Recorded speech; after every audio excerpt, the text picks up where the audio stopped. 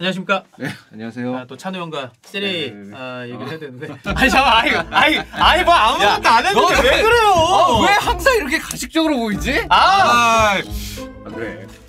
가식적이라기보다는 어, 어. 방송을 할 때그 음. 모먼트와 그렇지 않을 때 음. 모먼트에 갭이 있다라고 해주세요. 아, 그러니까 네. 그게 가식적인 거 아니야? 아니 뭐, 뭐 그렇게 볼 수도 있지. 뭘 볼 수도 있어. 그게 가식적이지. 저는 문제가 알아요? 형이 내가 시작할 때부터 이상하게 나를 쳐다보고 있다니까요. 아, 그냥 뭐. 예. 어, 그냥 뭐. 아니, 난 귀여워서. 아. 귀여워서. 난 나한테 고마운 사람이고. 아 그럼요. 어. 제가 제가 늘 이제 그럼, 생각하고 어. 데려다 드리고 집에 몇 번이나 데려다 줬는데 아, 고마운 사람이죠. 그렇습니다. 내가 잘해야지. 술 한번 살게. 아 좋죠. 어, 근데 너 나랑 술 먹는 거 싫어하잖아. 뭘 싫어요? 싫어하지 않아. 싫어하잖아. 아 싫어하지 않아. 그러니까 한 번도 먹은 적 없어. 그지? 그 그건 맞아요. 전체 이렇게 한 거 빼고는 없잖아. 그지?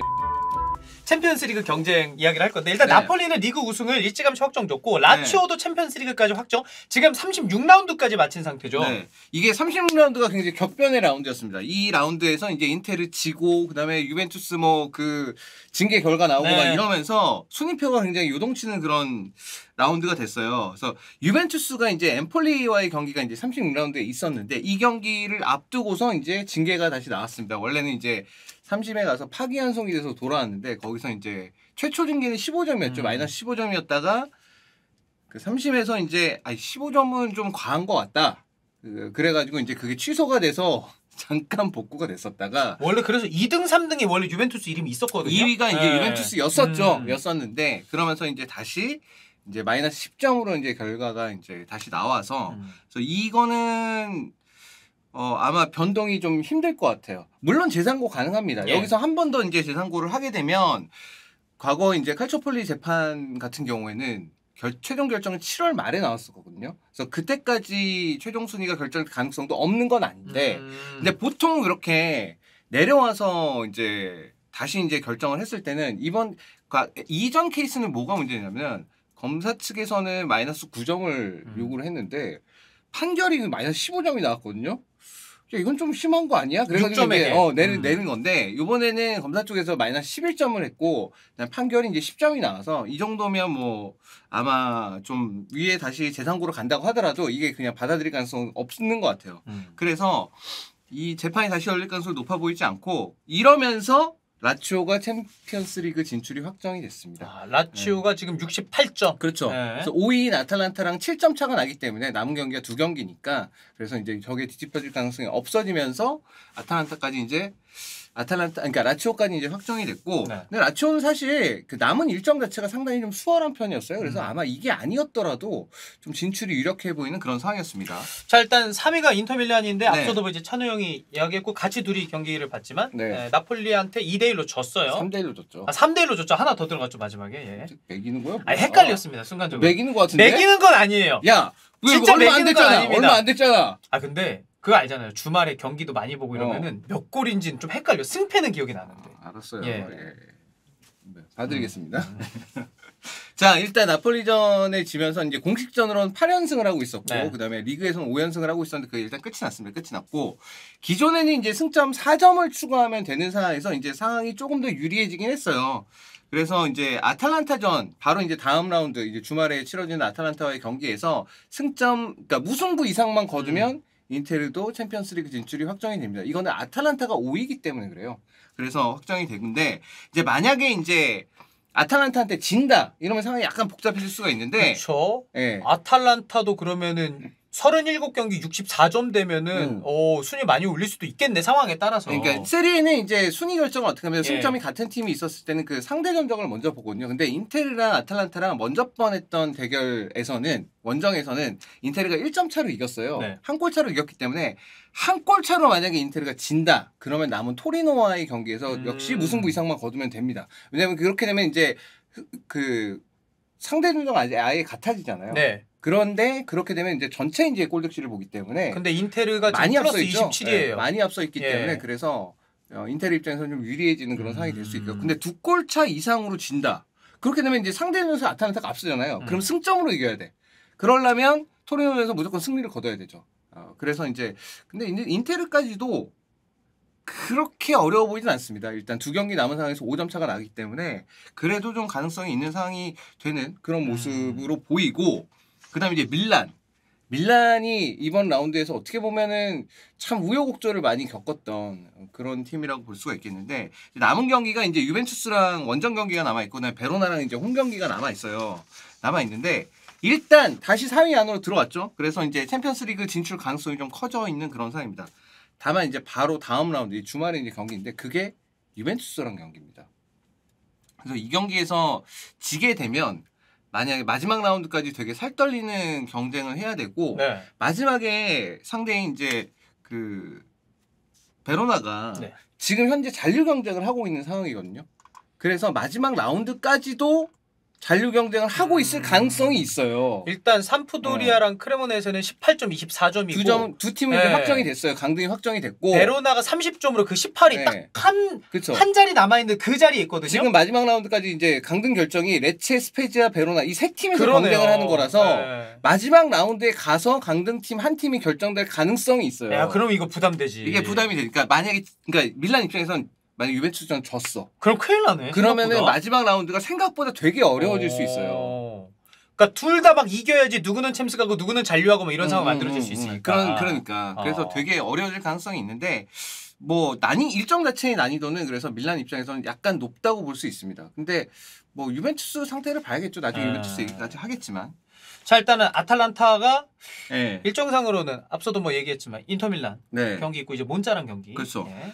일정은 아탈란타가 제일 어렵습니다. 네. 왜냐면 이제 인테르랑 경기가 일단 원정을 가야 되는 경기이기 때문에 그리고 인테르랑 아탈란타랑 지금까지 경기를 했었을 때 인테르가 대부분 결과를 좋게 가져왔어요. 음. 그래서 아탈란타 입장은 굉장히 어려운 원정이 될 가능성이 높고 그다음에 몬짜랑 경기도 몬짜가 최근에 굉장히 흐름이 좋습니다. 그 몬짜가 지금 팔라디노 감독 선임 이후에 쭉 치고 올라와서 지금 8위까지 올라왔잖아요. 그렇네요. 예. 이 팀이 초반에 뭐 4연패인가 5연패로 시작을 했거든요. 시즌 초에 엄청 안 어, 좋았어요. 엄청 안 좋았었지. 그래서 나폴리랑 붙을 때도 힘없이 지고 막 이랬던 걸로 기억하거든요. name 제가. value 그러니까 나름 유망주들 그다음에 네. 좀 이름값 있는 선수를 데려왔는데 와 성적이 왜 저러냐 음. 그랬었는데 팔라디노 감독 선임한 이후에 쭉 치고 올라와서 지금 몬자가 굉장히 높은 순위 그 경기력도 상당히 괜찮습니다. 네. 그래서 이거 자체가 좀 꽤좀 어려운 상황이 있고 그다음에 몬자가 한 가지 기대할 수 있는 게 뭐냐면은 코파 이탈리아가 이번 주 중에 있습니다. 네, 결승 있죠. 네, 인테르랑 피오렌티나랑 경기를 네. 하는데 이거 경기 결과에 따라서는 몬자도 잘하면 나갈 수 있어요. 그러네. 왜냐하면은 유벤투스가 지금 지금 징계 자체는 일단 이탈리아 내에서만 징계가 나온 건데 네. 이 징계를 받아서 유에파에서 너네 유럽클럽장들 아예 나오지 마. 라고 할 가능성이 있어요. 어. 근데 그렇게 되면은 어떻게 되냐면은 7위 유벤투스가 몇 위를 하건 간에 일단 하나가 선- 그렇지. 몬차보다 사라지는 위에 거죠. 있다면 예, 위에 있다 위에 있을 가능성이 높죠. 사실 네. 두 경기 남겨두고 지금 7점 차니까 무조건 위에 음. 있는데 이 유벤투스가 몇 위를 하건 간에 상관없이 일단 몬자는 그 한 단계는 이제 위로 음. 올라가게 되고 만약에 인테르가 코파 이탈리아에서 우승을 하게 된다. 네. 그럼 인테르는 이미 지금 뭐 챔스건 유로파건 할 나갈 수 수. 있잖아요. 그쵸. 무조건 나갈 수 있는데 네. 코파 이탈리아 우승팀이 원래 유로파 진출권이 주어지거든요. 네네네. 그렇게 되면 순위가 하나씩 또 밀려요. 음... 그 래서 7위까지 나갈 수가 있는데 유벤투스가 못 나가면 몬자가 그 8위까지 가는 자리야. 그렇죠. 몬자가 그 자리가 되는 거예요. 어. 그래서 몬자 가능성 있고. 근데 볼로냐, 음. 토리노, 피오렌티나랑도 승점 차가 얼마 안 나니까 몬차 그치. 입장에서도 이겨야 되는 경기가 되는 거네. 그러니까 이것도 모르는 거예요. 이것도 어. 8위가 누가 될지도 사실은 지금 오리무중이에요 지금. 이게 챔스뿐만 아니라 유로파 뭐 컨퍼런스 이렇게 다 걸려 있는 거구나. 네. 반대로 근데 피오렌티나 우승한다. 어 그럼 7위가 돼도 못 나갈 수 있죠. 그렇죠. 예. 뭐 그거는 단순해지니까. 네, 네, 그것도 못 나갈 수 있는 음. 그런 가능성이 생깁니다. 그래서 뭐 일단은 어쨌든 간에 아탈란타 입장에서는 그래도 연패를 끊어내고 예. 어 베로나전에서 이제 승리를 거뒀다는 것 자체는 좀 긍정적으로 음. 볼수 있는데 사실 남은 경기 쉽진 않습니다. 자 그리고 이제 뭐 로마. 많이 걸려 있어요. 네. 로마, 로마가 이제 피오렌티나랑 붙고 스페치아랑 일단은 순위는 차이가 좀 많이 나긴 하거든요. 로마가 네. 이제 아, 그 최근의 경기들에서 상당히 좀 어, 승점을 많이 못 쌓았죠. 그 살레르니타나랑도 경기에서 계속 끌려가다가 네. 결국 마지막에 이제 동점골을 넣으면서 결국 무승부를 경기를 마치면서 어쨌든 챔피언스리그 진출에 신라 같은 희망이 남아 있긴 합니다. 음. 일단 2승을 거두고 위에 있는 팀들이 다 못하길 바라야 돼요. 그러면 어쨌든 가능하긴 한데 무리뉴 감독도 이제 얘기를 했죠. 이거에 대해서 특히 유벤투스 징계 관련해서 얘기를 했는데 볼멘사리를 할 수밖에 없는 상황인데 사실 리그만 놓고 봤을 때는 신라 같은 희망이 있긴 하지만 음. 되게 어려워 보이긴 합니다. 일단은 피오렌티나도 이제 이 주말에 경기가 있는데 피오렌티나도 주중에 이제 코파 이탈리아 결승이 있죠. 그래서 필요한 상태에서 로마랑 만날 거예요. 근데 로마의 문제는 뭐냐면 이 주말 끝나고 그 다음 주 주 중에 세비야랑 예, 유로파리그 결승이 있습니다. 맞아요. 그러면 로마가 선택해야 될 거는 명백해요. 세, 그 세비야컵 우승하면 챔스 네, 가니까. 그러니까 예. 그거야. 그리고 그렇게 해서 나가면은 시드 톱 시드야. 맞아요. 유로파리그 우승이어서. 그래서 로마 입장에서는 이게 지금 리그에 집중을 하기가 음. 어려운 상황이고 그 경기가 계속 지금부터 3일 간격으로 계속 있어요. 그 경기가. 그 피오렌티나 그다음에 유로파리그 결승 다시 스페지아 이렇게 경기가 있어가지고 이 중에서 하나를 고른다면 당연히 결승이죠. 예, 유로파리그 결승을 고를 수밖에 없고 더군다나 무리뉴 감독이 유럽 클럽 대항전 결승에서의 그진 승률. 자체가 예. 어, 완벽하기 때문에 그 기대를 그쪽에 아무래도 하는 게 좀 맞아 음. 보이고 다만 이제 디발라의 부상 회복 여부가 되게 불투명합니다. 음. 예. 지금 이 로마가 지금 부상자가 너무 많기 때문에 지금 어느 한 경기만 딱 집중할 수밖에 없는 상황이고 그 경기 당연히 유로파 리그 결승이 될 수밖에 없을 것 같아요. 음. 자 이제 유벤투스는 이제 뭐 아까 뭐 상고 재상고 이야기도 네. 나왔습니다만은 일단은 그래도 끝까지 최선을 다해야 되는데 밀란이랑 만나고 우디네제랑 만나고 유벤투스도 가능성이 없지 않습니다. 예. 59점이기 때문에 두 경기 다 이기고 그 다음에 다른 팀들 상황을 봐야 되는데 일단 두 경기를 다 이긴다는 건 밀란이 한 경기를 진다는 얘기기 그렇죠. 때문에 그러면 가능성이 조금이라도 더 열리긴 하는데 음. 이제 이 문제가 엠폴리전을 이겼으면 사실 이런 문제도 없어요. 음. 엠폴리전 이겼으면 두 경기 다 이기면 자력으로 가능했어. 왜냐면 밀란이랑 맞대결이 남아있기 때문에 가능했었는데 이제는 밀란을 이긴다고 하더라도 그래도 승점 여전히 낮습니다. 자력으로는 안 되죠. 자력으로는 음. 이제 불가능해요. 불가능한 상황이 됐고 여기에 더해서 지금 뭐 일단은 지금 이번 그 징계 자체는 그 이적과 관련해서 음. 이제 그 징계였고 요 다음번에 이제 또 그게 남아 있어요. 연봉 지급권과 관련된 그 또 징계 절차가 또 남아 있어요. 그 별건으로도 다, 다루고 있습니다. 네.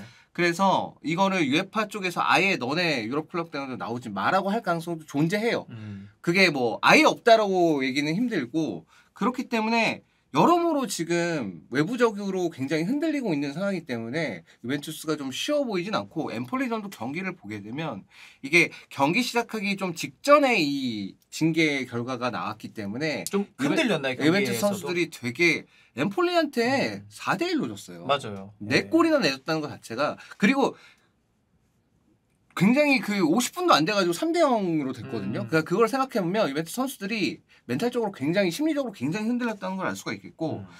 단순히 이제 전력상으로만 놓고 보면 유벤투스가 밀란이랑 경기도 홈에서 치르고 그 다음에 남은 경기가 우네스이기 때문에 사실 못 이길 경기들이 아닌데 어 엠폴리전 대패를 봤을 때는 이게 상황상 결코 쉬워 보이진 않습니다. 결코 쉬워 보이진 않고 그래서 지금 이 상황에서는 유벤투스는 지금 유로파권도 지금 가능할까? 약간 이런 생각이 들 정도로 꽤 어려워 보이는 상황입니다.